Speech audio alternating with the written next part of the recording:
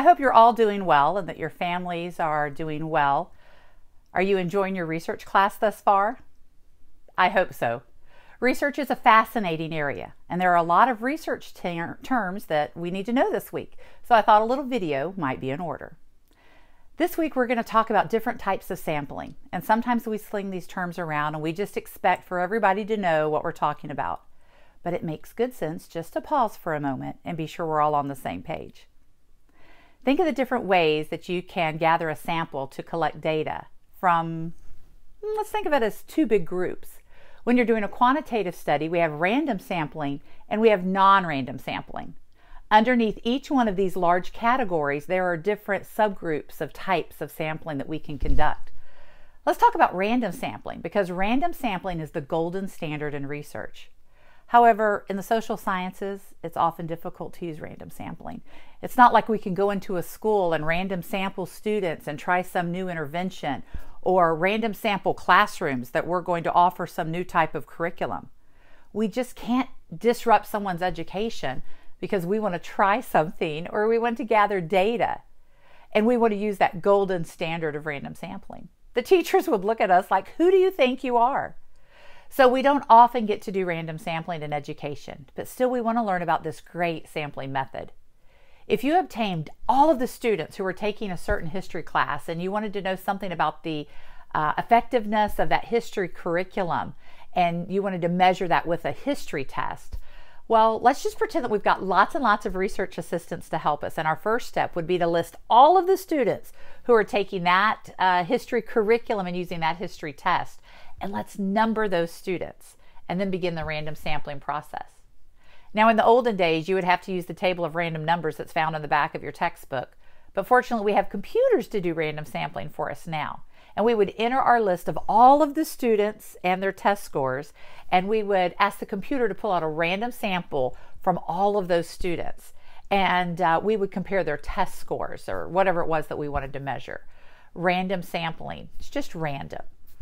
I noticed that a lot of students use the word random sampling or that phrase, and I don't know if it's because they've heard it's the golden standard or if it's just a term that they're familiar with, but we're not often going to be able to do random sampling. So just keep that in mind this week as you approach your activities. If you were doing random sampling, that means that you've numbered all of your participants, the whole population, and you've randomly selected by using the table of random numbers in the back of your textbook, or you allow the computer to do random selection for you. It's a great type of sampling, but it's not something that we can usually accomplish in education. Then another type of random sampling is stratified random sampling. Let's pretend we're going to conduct a study of finance managers, and perhaps we're rating their effectiveness, and we want to know if their effectiveness has anything to do with their level of education. When we're breaking down the participants, we want to note their different education levels.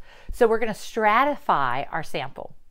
We have some finance managers with a high school level of education, and some have an associate degree, and some have a four year bachelor's degree, and some have obtained a master's degree, and you might even have a few finance managers with a doctoral degree.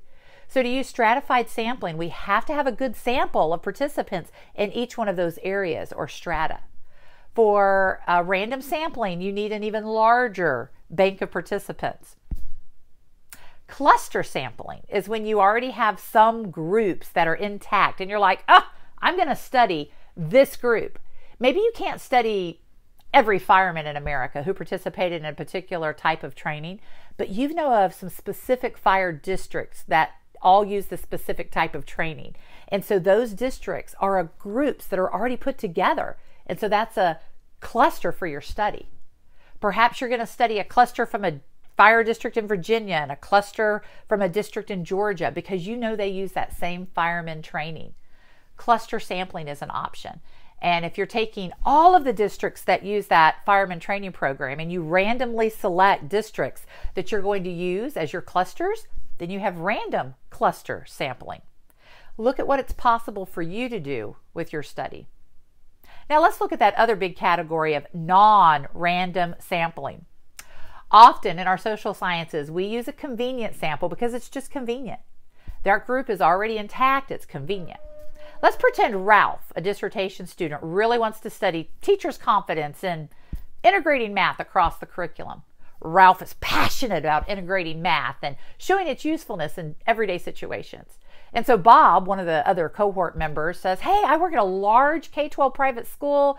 My principal, the board, whoever we have to get permission from, they are absolutely willing to let you survey your teachers here about their confidence in integrating math across the curriculum. And Ralph's so excited. He's found his convenient sample and he's going to use teachers at that private school uh, as his sample. And maybe Ralph can even use some other private schools to enlarge his sample. Anytime you can get more participants in your study, you're giving yourself greater statistical power. So I always say that if you can increase your sample size, please do so. But it's a convenient sample, it's convenient, and it's easy. Purposive sampling is when you have a certain group that you want to study. Think about you purposely want to choose those individuals. Uh, you're wanting to look at teachers who've had some experience or something in common. So you're purposely going to pick those teachers to survey to be in your quantitative study. And that would be purposive sampling.